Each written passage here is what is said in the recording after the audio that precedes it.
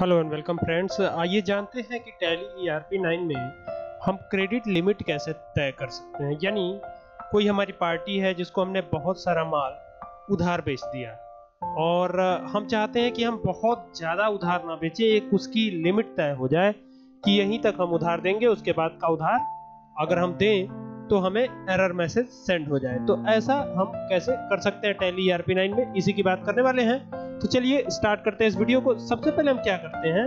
एक लेजर बना लेते हैं।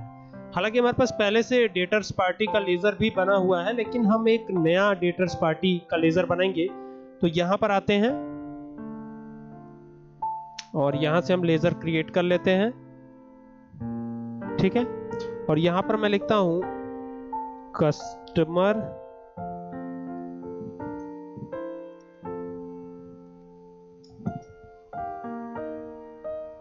राम। और ये हमारा कस्टमर है, यानी कि ये डेटर पार्टी होगी तो एस प्रेस करेंगे सन्ड्री डेटर के ग्रुप में इसे हम रखेंगे। तो यहाँ पे डेटर पार्टी का लेजर हमने क्रिएट कर लिया, और यहाँ पर देख सकते हैं, ये maintain balance bill by bill ये ऑप्शन एक्टिवेट है। और यहाँ पर आ रहा है डिफ़ॉल्ट क्रेडिट पीरियड ठीक है? और यहाँ पर आ रहा है क्रेडिट लिमिट तो यहाँ पर हमें लिमिट को सेट करना होगा, ठीक है?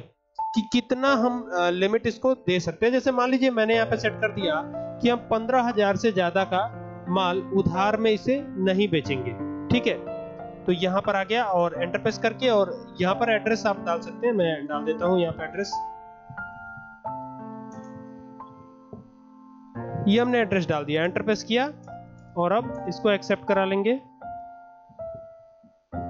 पिन कोड डाल करके और इसको मैं एक्सेप्ट करा रहा हूँ। ये हो गया एक्सेप्ट ठीक है? आइए अब चलते हैं, देखते हैं सेल्स वाउचर में कि इसकी एंट्री हम कैसे करेंगे। तो सेल्स वाउचर में जाने के लिए आपको F8 प्रेस करना है। यहाँ से फ़ंक्शन बटन F8 प्रेस कीजिए, आ जाएँगे सेल्स वाउचर में। यहाँ पर जो रेफरेंस नंबर है वो डाल दिया हमने। अब यहाँ पर जो हमने पार्टी का नाम दिया था, वो क्या था?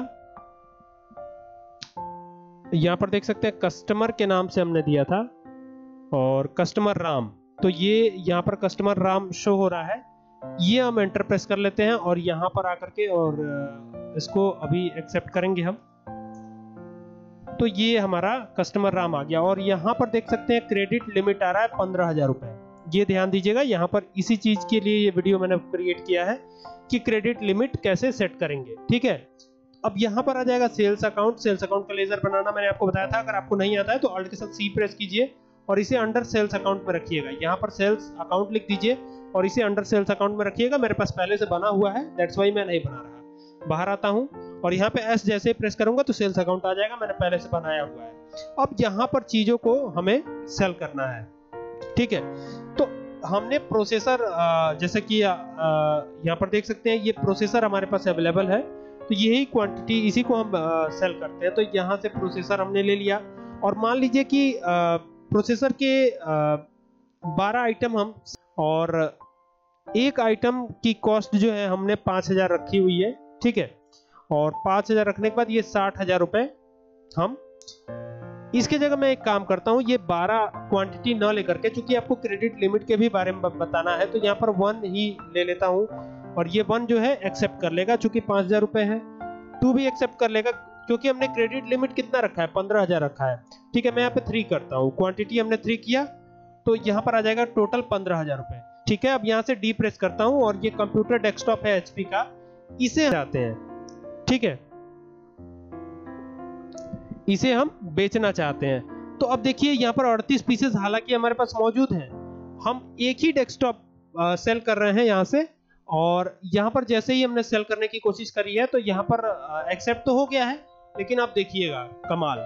यहाँ से C G S T S G S T भी लगा लेते हैं हम। यानी कि टैक्स भी लगा लेते हैं और यहाँ पे एस जी एस टी लगा लेता हूँ।